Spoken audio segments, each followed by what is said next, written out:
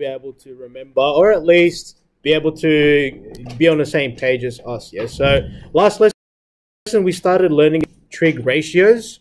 Remember that there's three different ratios that we are working with. Yes, on your calculators, it's the sine, the cosine, and the tangent button on our calculators. All right. I think one thing I forgot to mention is if your calculator is not giving you exact answers, you might need to do this on your device or on your calculator itself. Yeah. So if you got something like mine, you can't really see it, but if you press the shift button and then you go mode, okay, and the third one there is degree. So you need to go to degree. You need to change your calculator to degrees mode if you haven't already done that. Just because your answers might be a couple decimals off, which is not good. It should be correct though, Miss uh, Renahan. Don't change it. It won't change it if you do it again. Yeah. So just keep that in mind. Yeah. Make sure you do that on your calculator. If you have a really funky calculator, I can do it for you, but just uh, we'll do that later. All right. Last week we learned about the three different ratios and we learned how to label any triangle that's right angled. Yeah. So what are the three names for any sides of the triangle that's right angled? Yes, Abby. Do you have your hand up? Uh, give me one of the names, dude. Sine? No, not not quite. The names of the sides. Hypotenuse, which is the longest side. Good. What else have we got? Opposite, which is all right. Now that's dependent on where the angle is. Yeah. So the opposite side of the angle is the opposite. And then the side next to it is called the adjacent, which is next to it. That's what adjacent means, next to.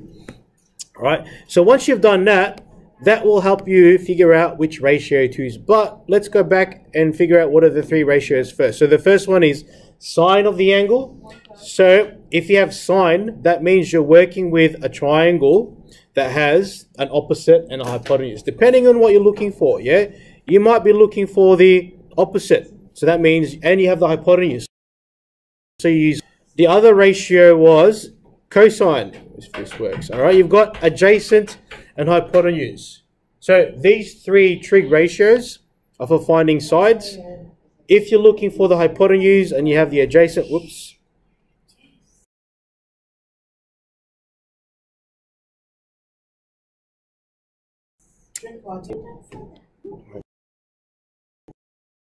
That's the second ratio we worked with.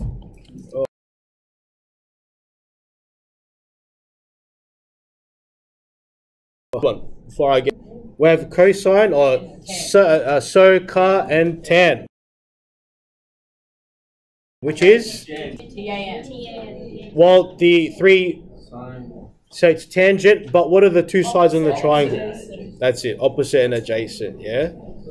So let's actually use these on uh, as an example. So here, let's work this out. Shh, I've got me triangle. All right, name me. Tell me what's the hypotenuse here. Where's the hypotenuse? Tell me. The right side, the right side, the longest. So we're, my angle is here. So uh, Tiana, I'm going to ask you if this is my angle. Where's my opposite? Very good. So that's my opposite, where the x is. Okay. And where's the adjacent? 15. Next to it, which is 15. Now, if I look at this, right, I've got, I'm looking for the opposite, and I have the adjacent. Which ratio has O and A in it? tan. tan. Good. So that means we use the tan ratio. Write out your formula. So tan of the angle is equal to O over A. And then you just change the tan angle, which in this case is 35. Sam, quiet please. Oh, opposite is x, and the adjacent is 15. So what happens when you get a question like this? You're trying to make x by itself, yeah? So this is divided by 15. If I bring it here, Celine, what happens to it? What's the opposite of divide? Time. So it becomes 15 times tan. So when you put that in your calculator, we're going to go 15 times the tangent of 35.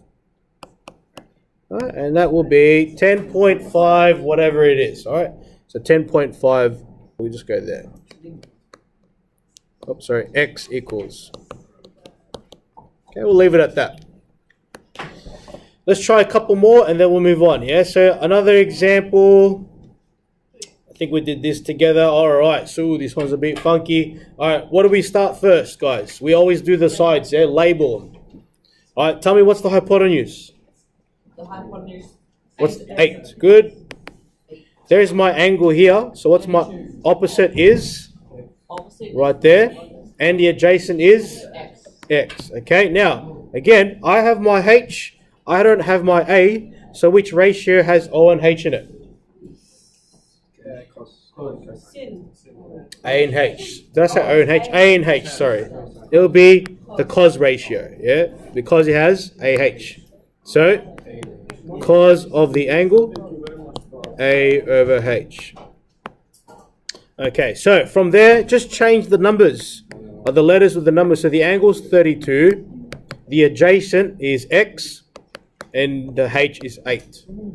Okay, so when you get, again, similar to the other question, here you're trying to isolate x. This is divided by x, so you bring it here, it becomes times.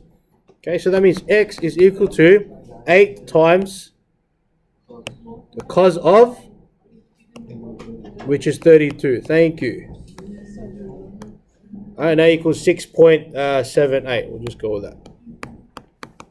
And then always put your measurements if you need to. In this case, it's centimeters. Alright. Alrighty. Um, I think that's it for the finding. The actually continue now.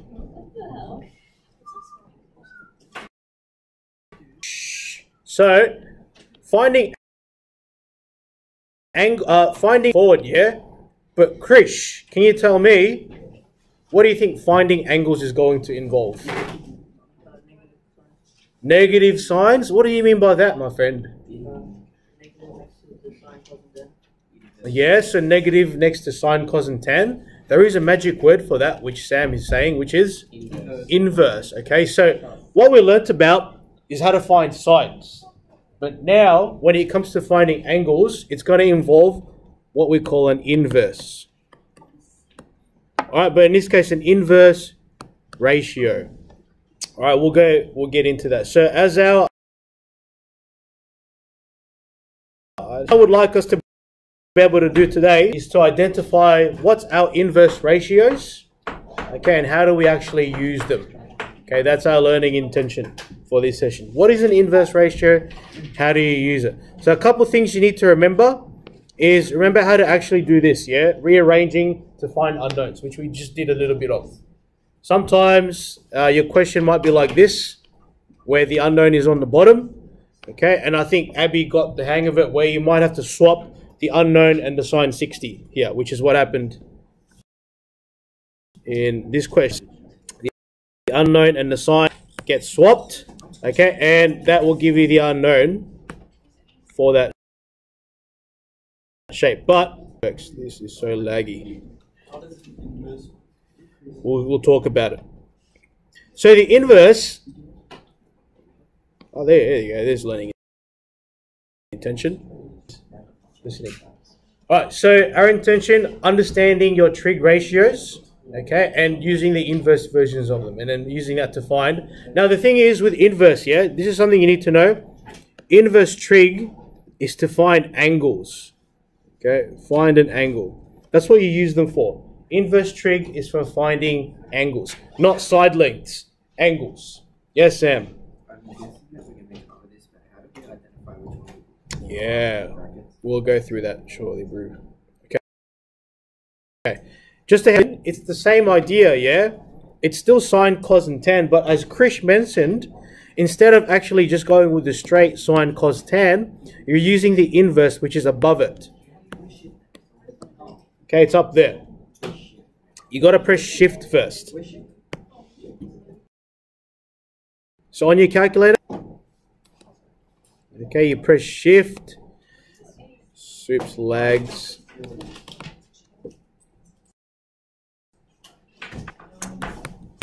Ugh. Okay, so you press shift first and then whatever ratio you're going to be using, yeah? So in this case, shift and then uh, sine. Alright, shh, thank you, listening, listening. So if you want to use sine inverse, you go shift and then sine. If it's cos inverse, shift and then cos. What Krish mentioned was you've got to have that negative one on there. That's how you get the inverse. Okay, if you want to use tan, go shift and then tan. Okay, inverse is the important thing uh, for this question. So make sure you're aware of how to do that. Again, your calculator has to be in degree mode for it. All right, so let's go through and actually understand how to use it. Now, with same similar with the normal ratios, just make sure you start off with naming the sides of your triangle. You always start there. Name the sides first.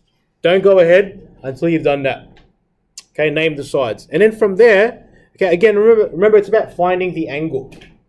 Okay, so if you're given an angle, for example, there, and you don't know it, but you have opposite and you have adjacent, okay, and uh, you're looking for one of them, which ratio out of the inverses has O and A in it?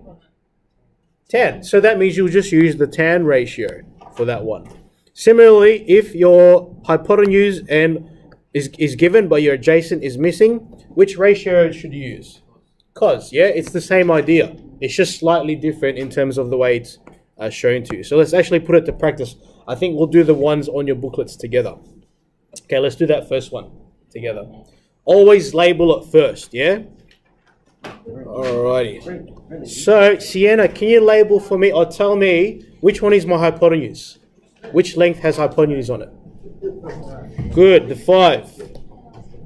Okay, let's see. Kira, can you tell me which is the opposite in this triangle? If your angle's here, where's your opposite? What length is it? Tell me. 3.5. So that's your opposite. Now, according to this, I have my O I don't, I, and my H. Okay, so which inverse can we use to find the angle that has O and H in it? Sine. Sine. Okay, so you're going to use your sine. It's pronounced sine, guys. Yeah, exactly. So sine inverse O over H. Okay? And then again, just change the numbers and the letters. So it's going to be sine inverse. My O is 3.5. Okay, and my H hypotenuse is 5. So on my calculator, that's literally all you type. Shift, sine inverse, and you can use your, cal- your uh, fraction button, 3.5 over 5. Close the bracket, 44.42 or 43. Uh, 43. Okay, you need you do need a calculator for this. Okay, 44.43. Did anyone else get a different answer? Because you may you may have not put your calculator in degree mode. Okay, make sure it's in degree mode. Okay, let's try another one. Try another one. Try the second one.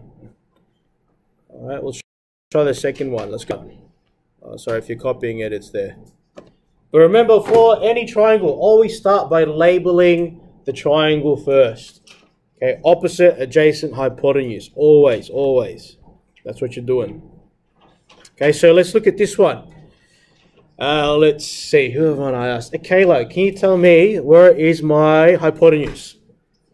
Good, so this one's 11, which is hypotenuse. And Celine, what's my adjacent? The bottom, which is? Good. Shh. Which ratio am I going to use to find the angle that has A and H in it? Oh, thank you, Van, or whoever said that. Okay, that ratio, because it has A and H in it. So, write the formula. Cos inverse A over H. Let's see what we get. Let's compare our answers. Okay, adjacent here is 5. Hypotenuse is 11. Close the bracket. Therefore, the angle should be cos inverse of 5. Use your fraction button if you need, or you can just go divide. Same thing. Oops. Oops. Uh, yeah, okay. Equals, did we get 62.96? Beautiful.